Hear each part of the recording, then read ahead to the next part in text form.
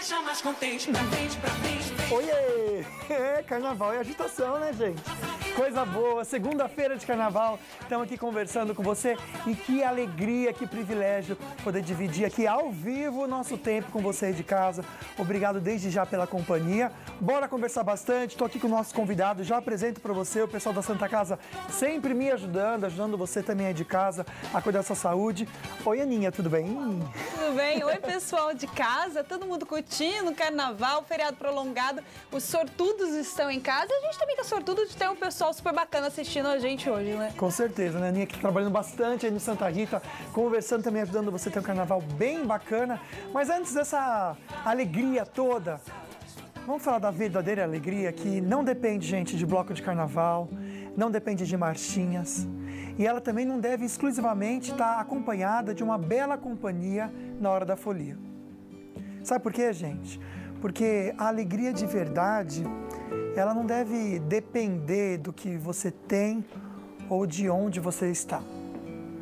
A genuína alegria que se transforma em momentos de felicidade, ela deve sim estar dentro de você, no seu coração. Ela é fruto de atitudes sábias e também dignas do dia a dia.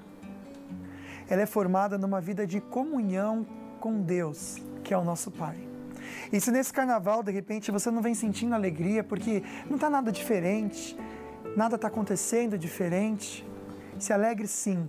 E agradeça também por isso. Sabe por quê, gente? Porque a estabilidade nesse mundo tão instável e também cruel é uma das maiores bênçãos que a gente pode ter. E esse sim é o nosso toque então de segunda-feira para você que quer de repente aí passar esse momento com a gente e também sentir essa alegria junto com a Santa Casa de São José dos Campos, porque hoje é dia de dicas de saúde.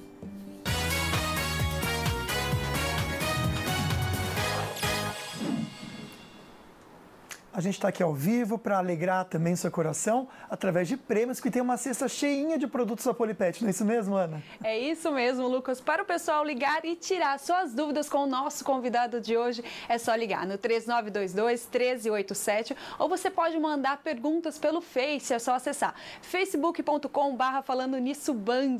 E olha só essa cesta maravilhosa da Polipet, cheinha de produtos para o seu melhor amigo bicho. E para concorrer é só entrar na nossa nossa página no Face, curtir e compartilhar essa fotinho e pronto, é fácil, fácil. E também tem aquele delicioso e maravilhoso kit da Cooper. Olha quanta coisa gostosa. E para você, o que, que você tem que fazer para compartilhar? Para você que gosta dos produtos da Cooper, é só produto de qualidade. Então você curte e compartilha a foto para concorrer. Pois é, e sexta-feira então já tem um sorteio desses produtos maravilhosos para você.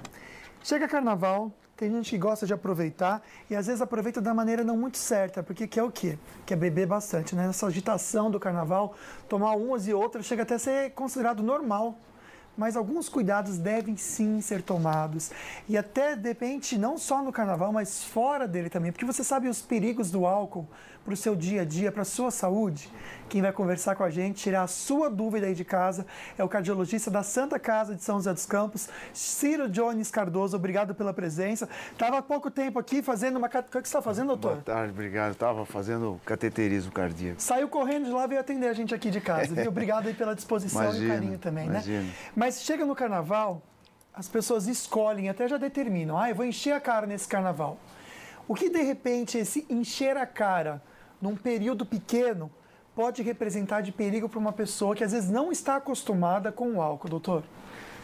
É, veja, é, o, o, problema está mais inerente, não o fato da, da bebida alcoólica em excesso que acarreta outros problemas sem ser cardiológico, mas uhum. do ponto de vista cardiológico, acarreta na, na chamada folia, no esforço físico, Olha. em que o indivíduo não faz de forma com frequência. Entendi. Três, quatro vezes para semana. Então, é, ele vai tomar bebida alcoólica, geralmente vai necessitar de alguns energéticos e vai fazer esforço físico vigorante acima do que ele habitualmente pratica. Então, esse é o perigo. Então, seria esse despreparo mesmo, uma coisa. É, você pegar o seu organismo e jogar, de repente, ele numa salinha que ele não está acostumado a ir. Perfeito. Aí esse que é o problema, então. Esse é o perigo. Você expor seu coração a um esforço mais vigoroso do que ele está habituado. Tá bom, então olha só. E tem gente misturando, gente, o álcool com um remedinho azul. Porque aí bebe álcool e não consegue fazer o negócio subir.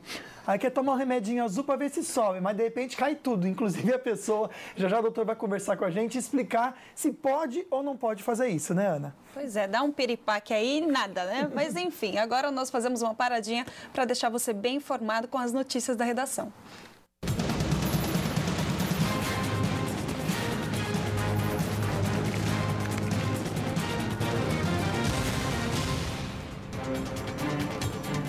E uma adolescente de 16 anos morreu depois de ser atropelada por um trio elétrico em Jaguarão, no Rio Grande do Sul. Cuenca participava da festa quando foi atingida pelo caminhão. Ela chegou a ser socorrida, mas não resistiu. A prefeitura e entidades carnavalescas consideraram o caso uma fatalidade e fizeram uma homenagem à jovem na noite de ontem. Mesmo com a morte, o restante da programação do carnaval vai seguir normalmente. O que me assusta é isso, né? A programação seguir normalmente, porque o valor da vida, o valor do ser humano foi totalmente perdido. Agora eu te faço uma pergunta para quem está organizando o carnaval lá. Se fosse o seu filho ou a sua filha, ia tudo continuar normalmente? É tanto dinheiro envolvido assim que vale mais que uma vida de uma pessoa? Aliás, esse carnaval está recheado de problema e de coisa ruim, gente. Uma pessoa morreu e nove ficaram feridas após um tiroteio no centro histórico de Paraty, no Rio de Janeiro. O governador disse que a cidade terá maior policiamento até o fim do carnaval. O duelo entre as facções criminosas aconteceu na Praça Central, que estava lotada de foliões e bem em frente a um posto de vigilância. Cleide participava da festa e só teve tempo de correr. Nos quatro tiros a gente achou que era bombinha. Quando a multidão veio correndo, é que todo mundo viu que era tiro. O pessoal que vinha correndo pisava nos que caíam. Então o desespero foi esse.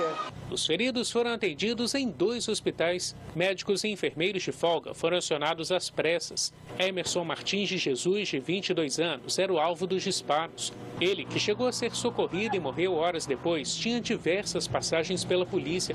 O autor do crime foi preso escondido numa casa. Miguel da Conceição Oliveira tem 19 anos, responde por tráfico e conquistou a liberdade condicional há 15 dias. O revólver utilizado foi emprestado por um comparsa. Esta mulher, que não quer aparecer, havia saído de São Paulo para aproveitar a folga prolongada. Uma bala perfurou o braço dela e o do namorado. Eu achei que fosse um rojão no chão.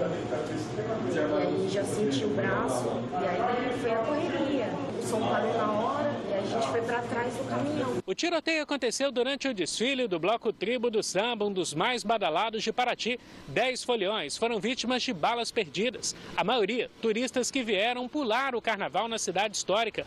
O socorro foi prestado por ambulâncias do Corpo de Bombeiros. Depois de uma reunião com a direção dos blocos, a programação noturna foi suspensa neste domingo por medida de segurança. Dois homens envolvidos no crime continuam foragidos. O medo de novos ataques parece antecipar o fim do reinado de Momo. O carnaval esse ano está condenado, o turista está assustado, as pousadas estão esvaziando, estão procurando mais para o Rio de Janeiro, né? Ubatuba, já saíram bastante gente das pousadas, estão bastante vazias. A verdade é que não é só o carnaval, não, né? A gente viver no Brasil parece que é uma condenação diária de estar exposto aí ao perigo e ao risco de perder a nossa vida. Essa que é a verdade, né?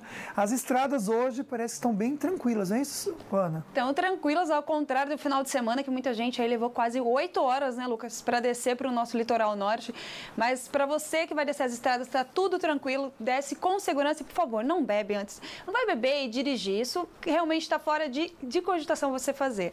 Mas a previsão para Taubaté é de dia nublado e chuvoso, com a máxima de 28 graus. Já em São Luís do, Parenti, de, do Paraitinga, o tempo tempo está um pouco mais fresco e a máxima é de 26 graus e pode chover durante o dia. Isso não é nada ruim para os foliões que estão lá. E quem está no litoral norte também tem chuva. Em São Sebastião, a máxima é de 31 graus, com a possibilidade de chuva o dia todo. E o nosso break é bem rapidinho, não sai daí não. E uma tampa de bueiro explodiu e arremessou uma criança a mais de 2 metros de distância. Não sai daí que no próximo bloco você confere. Eu quero mais.